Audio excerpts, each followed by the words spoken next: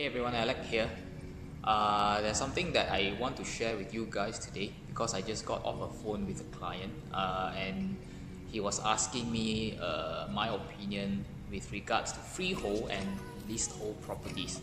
I mean, uh, not to be mistaken, freehold properties are definitely good buys uh, provided you can get something that is of good value uh, and especially if you are looking to buy a landed property, I'm always of the opinion that you should always get a freehold landed property because um, land in Singapore is scarce and it always appreciates in value and the value of the property itself is well within your control because you're the, own, the sole owner and any enhancement is at your discretion.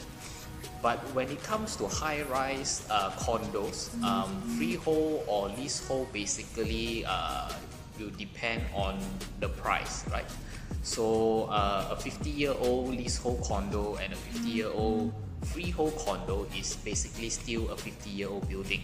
So as uh, the building ages, um, people, I mean, stuff will start breaking down and it will cost more to maintain it. So a freehold condo versus a leasehold condo at that point in time if the residents were to en bloc it uh, I am quite sure a freehold condo will cost more for a developer to come in to en bloc that particular development because the land is freehold while the night the leasehold condo probably at that point in time is uh, left with 49 years so typically it will be cheaper uh, versus that of a freehold.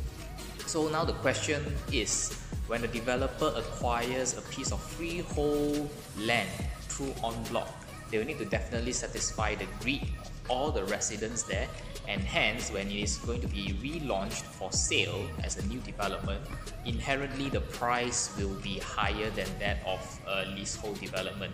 Because even if the developer were to factor in the lease top up and the construction cost at the point in time it is almost always that the selling price will be cheaper than that of a freehold.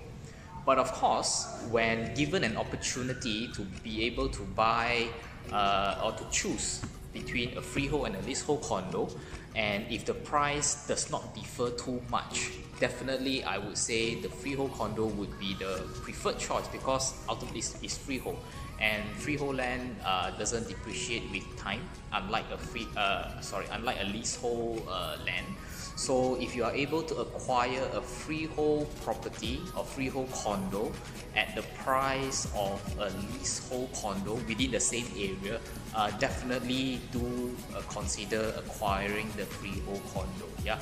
So um, when it comes to price difference, what is the typical difference between a freehold and a leasehold? So, uh, according to the charts uh, over here, so uh, that I pulled from uh, Edge property. So we can see that the premium recently between the freehold and leasehold of new launches has increased. The gap is now around 30%.